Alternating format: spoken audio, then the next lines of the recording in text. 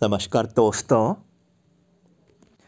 So friends आज का ये जो अपडेट है, Madhya Pradesh NHM staff nurse का जो एग्ज़ाम जो लीक हुआ था, उसी से संबंधित एक और जानकारी आपको प्रोवाइड यहाँ पे कराई जा रही। न्यूज़पेपर के तौर पे ये इन्फॉर्मेशन आर्टिकल के तौर पे यहाँ पे पब्लिश यहाँ पे कर दी गई।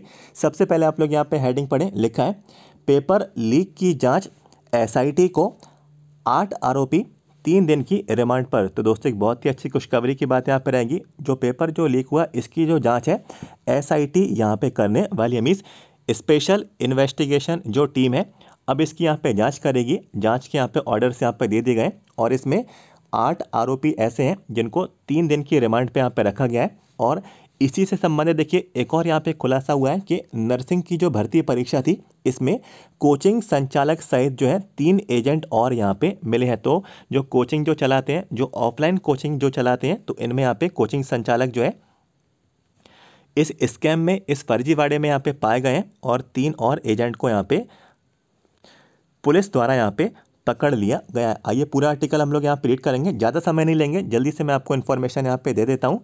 पूरा आर्टिकल आप लोग यहाँ पे इसको देखिए। ग्वालियर की ये इन्फॉर्मेशन है, पत्रिका न्यूज़पेपर में ये पब्लिश हुई है, लिखा है, राष्ट्रीय स्वास्थ्य मिशन, एनएचएम की स्टाफ नर्स संविधा भर्ती परीक्षा के पेपर लीक मामले की जाँच के लिए स्पेशल इन्वेस्टिगेशन टीम एसआईटी का गठन किया गया है। मामले में जिन आठ आरोपियों को मंगलवार को गिरफ़्तार किया गया था उन्हें पुलिस ने बुधवार को कोर्ट में पेश कर तीन दिन की रिमांड पर लिया है। तो दोस्तों, पुलिस द्वारा जो आठ जो आरोपी थे जो पकड़े गए थे, उनको गिरफ़्तार कर लिया गया था और बुधवार के दिन को कोर्ट में पेश किया गया और कोर्ट द्वारा तीन दिन की रिमांड पर उनको यहाँ पे रखा गया है। इसके बाद देखिए, आगे लिखते हैं। इधर पेपर लीक होने के बाद उसे ग्वालियर में बेचने और खरीदने के मामले में कुछ और नाम सामने आए हैं। क्राइम क्राइम ब्रांच ने पेपर खरीदने वाले अभ्यर्थियों से पूछताछ की तो एक कोचिंग संचालक सहित तीन लोकल एजेंट्स की भूमिका सामने आई है। इनमें एक एजेंट को मुरैना ज़िले से, जौरा से पकड़ा गया। तो मुरैना ज़िले का वो एजेंट यहाँ पे पाया गया, जो कि कोचिंग संचालक था और ये कोचिंग यहाँ पे चलाता था और उसको यहाँ पे पकड़ लिया गया और इस स्कैम में इस फर्जीवाड़े में इसका यहाँ पे कुछ ना कुछ यहाँ पे भूमिका यहाँ पे निभाई गई है। आ, इसके बाद देखिए लिखा है सरगना बन सौदा करने वाला भोपाल में पकड़ाया। जाँच के दौरान भोपाल में गैंग का एक सदस्य पकड़ा गया है। वह खुद को पुष्कर पांडे बताकर पेपर की सौदेबाजी कर रहा था। पुलिस के अनुसार आरोपी का नाम रविंद्र है। वह गैंग का सदस्य है और सरगना बनकर प्रदेश में सौदेबाजी कर रहा था। तो यहाँ पे देखिए सरगने की तलाश कर रही है। तो पेपर लीक मामले में मास्टरमाइंड जो है, उसकी गिरफ्तारी के लिए टीम रवाना की गई है। बताया जाता है कि वह मूलतः उत्तर प्रदेश के प्रयागराज का है। कुछ समय में मुंबई में रह रहा है। उन्हें व्हाट्सएप पर वहीं से पेपर यहाँ पर भेजा गया था। तो दोस्तों, ये तो इन्फॉर्मेशन थी जो मैंने आपको प्रोवाइड कराई। अभी लेटेस्ट इन्फॉर्मेशन ये पत्रिका न्यूज़पेपर में ग्वालियर एडिशन में आपको यहाँ पे दे दी गई है। अब दोस्तों यहाँ पे देखिए, सवाल कैंडिडेट्स का क्या उठ रहा है कि न्यू एग्ज़ाम की डेट्स कब यहाँ पर रिलीज़ की जाएँगी, क्या संभावनाएँ, क्या एक्सपेक्टेड जानकारी इससे संबंधित रहने वाली है। तो दोस्तों देखिए एग्ज़ाम की डेट को लेकर अभी कोई भी अपडेट यहाँ पे प्रोवाइड नहीं कराया जा रहा है। और एम पी को भी जैसा कि आपको मालूम है कि मध्य प्रदेश एनएचएम के जो डायरेक्टर जो मैम है, उनको लेटर लिखा गया है कि जो भी आरोपियों द्वारा जो पेपर मिला है तो ये क्या ये पेपर मेल खा रहा है, जो एग्ज़ाम आप लोगों से पूछा गया था तो उस चीज़ को मैच करने के लिए अभी एम पी के डायरेक्टर को पुलिस द्वारा ये लेटर यहाँ पे लिख दिया गया और अभी उसी का रिप्लाई नहीं आया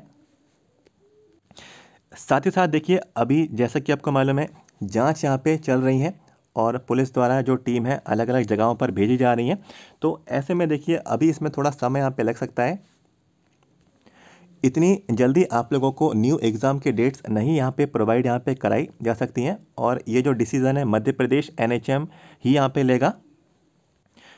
और दोस्तों, जाँच होना और जाँच का परिणाम आना, ये इसके बाद ही तय होगा कि आगे एग्ज़ाम दोबारा से आयोजित यहाँ पे कराया जाएगा या फिर जो है आगे की जो प्रोसेस यहाँ पे जो M P N H M के थ्रू यहाँ पे अपनाई जाएगी। तो ये जो है इन्फॉर्मेशन बात की बात यहाँ पे रहने वाली है। अभी कोई भी एक्सपेक्टेड डेट आपको नहीं बता सकता है कि कब ये एग्ज़ाम यहाँ पे हो सकता है। लेकिन हंड्रेड परसेंट श्योर तौर पे मैं आपको बताना चाहता हूँ कि सैम्स जो है अब ये परीक्षा नहीं ले पाएगा, क्योंकि सैम्स के थ्रू ही ये गड़बड़ियाँ यहाँ पे नज़र आई है। और अलग अलग न्यूज़पेपर के माध्यम से ये इन्फॉर्मेशन आपको यहाँ पे दी गई कि कुछ सैम्स के अधिकारी भी इसमें यहाँ पे लिप्त यहाँ पे पाए गए। उन्हीं ने ये पेपर जो है लीक किया और इनको जो है अलग अलग एजेंट्स में इसको यहाँ पे डिस्ट्रीब्यूट किया गया। तो बिल्कुल, इतना बिल्कुल अब यहाँ पे तय है कि सैम्स जो है M P N H M staff nurse का एग्ज़ाम ये अब जो है आगे यहाँ पे नहीं करा सकता है, क्योंकि जो है इस तरीके का स्कैम इन्हीं के द्वारा आप लोगों को यहाँ पे देखने को मिला। ये मैं अपनी तरफ़ से नहीं कह रहा हूँ, इससे पहले वाले वीडियोज़ में मैंने सारी जानकारी आप लोगों को बताई है, प्रूफ के साथ ये जानकारी दी है। और दोस्तों, जैसा कि आपको मालूम है कि इससे पहले भी स्टाफ नर्स का एग्ज़ाम ऑलरेडी हो चुका है और जो एग्ज़ाम अगस्त के मंथ में हुआ था उस अगस्त मंथ में जो एग्ज़ाम हुआ था, उसका रिज़ल्ट अभी तक पब्लिश नहीं किया गया है, ना स्टाफ नर्स का, ना ही फार्मासिस्ट का। और अब ये जो वैकेंसी निकाली गई तो इसका भी देखिए एग्ज़ाम का पेपर यहाँ पे लीक हो गया। तो ये दो स्टाफ नर्स की वैकेंसी बार बार ये चीज़ जो है रिपीट यहाँ पे हो रही है। तो ऐसी मेरे यहाँ पे उम्मीद है कि सैम्स जो है, अब ये आगे परीक्षा यहाँ पे नहीं करा सकता है, क्योंकि इनकी जो इमेज है एग्ज़ाम को कंडक्ट कराने की बिल्कुल यहाँ पे ख़राब यहाँ पे हो चुकी है। बाकी जो भी अपडेट है, मध्य प्रदेश एनएचएम के द्वारा ही आप लोगों को प्रोवाइड यहाँ पे कराया जाएगा। हर जानकारी मैं कवर कर रहा हूँ, आगे भी आपको जानकारी इन्फॉर्मेशन ज़रूर मिलेगी। आप चाहें तो वीडियो को लाइक कर सकते हैं। अगर आपको इन्फॉर्मेशन आपको मिली है इस वीडियो से, कोई भी इन्फॉर्मेशन ना छूटे चैनल को सब्सक्राइब करके ज़रूर रखना। वीडियो के नीचे जाएँ सब्सक्राइब के रेड बटन को क्लिक कर दें। Madhya Pradesh NHM staff nurse हर एक इन्फॉर्मेशन इसी तरीके से आगे भी पाते रहें। मिलते हैं आपसे अगले वीडियो में। Thank you so much